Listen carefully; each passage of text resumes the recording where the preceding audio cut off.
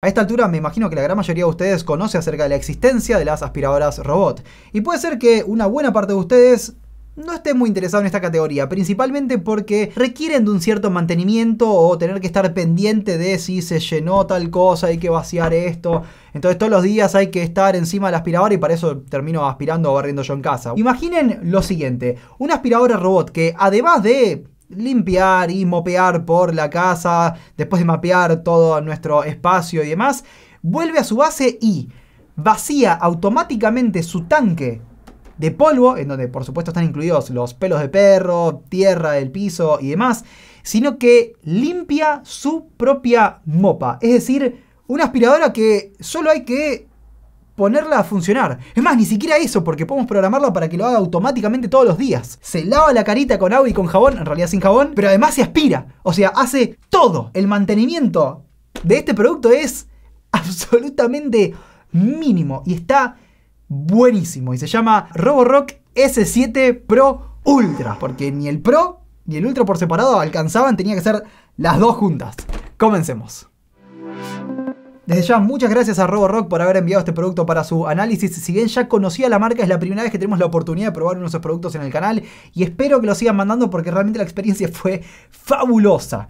Como siempre, por supuesto, el link que necesitan abajo en la descripción. Empecemos con las especificaciones técnicas. El robot aspirador puede generar una presión de succión de hasta 5100 pascales, lo cual es una bestialidad y de hecho es el doble que a lo que llega la Roborock S7 en su modelo estándar. También trae un tanque de agua incorporado de 200 mililitros y un tanque de polvo de 400. La batería es de 5200 mAh y llega hasta 180 minutos de autonomía que cubre con un tanque hasta 300 metros cuadrados. Algo muy importante es que carga un 30% más rápido que las versiones anteriores. Incluso trae una característica que está disponible a partir de agosto, siempre y cuando en su país también esto esté disponible. Podemos hacer la carga de la batería en horas no pico. Entonces, Además podemos ahorrar dinero y esto me parece fantástico. El sistema de navegación 3D es a través de LiDAR con mapeo hasta 4 pisos. También cuenta con evasión de obstáculos de hasta 2 centímetros de altura. Por supuesto que está integrado con asistentes de Amazon, Apple y Google. La base de carga y limpieza cuenta con dos tanques de agua limpia y sucia más una bolsa de basura de 2 litros y medio. Ahora bien, dos cosas muy importantes a destacar, especialmente si estuvieron hojeando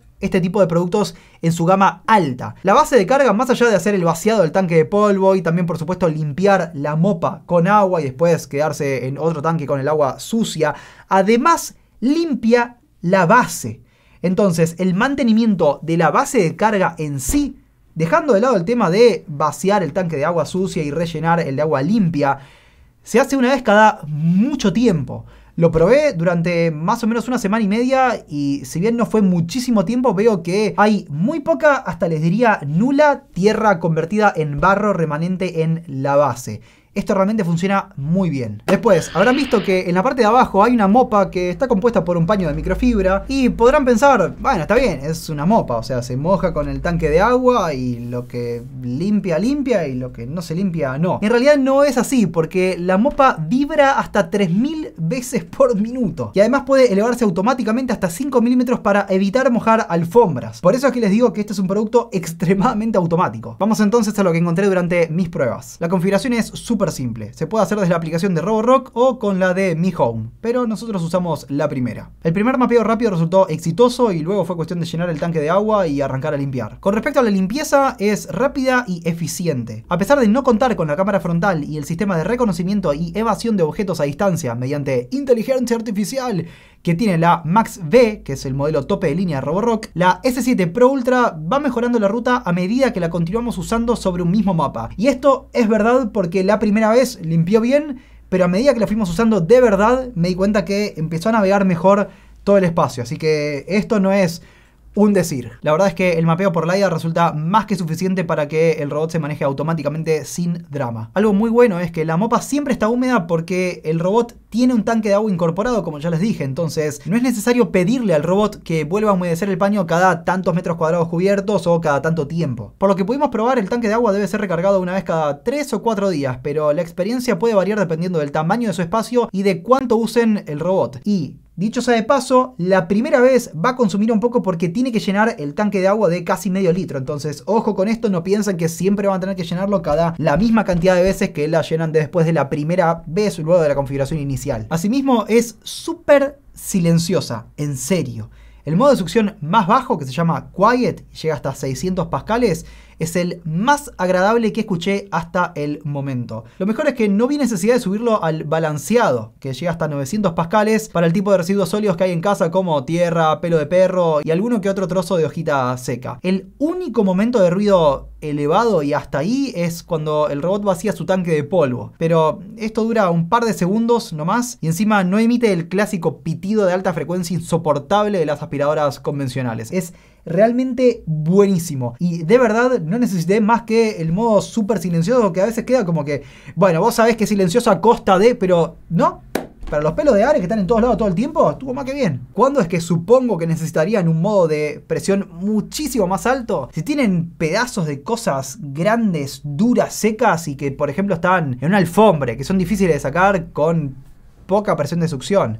Pero después, la verdad es que para piso relativamente limpio, que es lo que van a obtener si la usan todos los días o una vez cada muy pocos días, creo que en general con el mínimo van a estar bien. Lo mismo pasó con el sistema de limpieza húmeda. Obviamente no puedo pretender que saque una mancha seca y gruesa en una sola pasada, pero todo el resto de barro arrastrado con poca altura, manchita de aceite salpicado y comida de perro desintegrada suele salir de una. Todo esto por supuesto nos lleva a la aplicación. Tenemos la interfaz tradicional donde podemos ver el mapa en 2D, 3D y hasta hacer un mapeo matricial con la cámara del teléfono, pero también nos permite configurar la potencia de succión y la intensidad de fregado. Lo mejor es que esto último se puede personalizar por habitación, entonces si sabemos que una parte de la casa suele tener más manchas, como por ejemplo la cocina, le mandamos full power en esa zona y luego de última menos para el living. Una característica que me parece genial es que además de poder habilitar momentos de no molestar, es posible apagar la luz LED de los botones luego de un minuto para que no incomoden de noche. Hay tres modos de lavado de la estación que van desde el suave hasta el profundo y escuchen bien porque esto es importante. Podemos configurar la frecuencia de lavado por tiempo o por habitación para evitar contaminación cruzada. Lo mismo vale para el sistema de vaciado de polvo que lo usé en el modo inteligente. La bolsa de residuos tiene un mecanismo de cierre con un aro de goma para evitar que cualquier partícula aspirada salga del recipiente.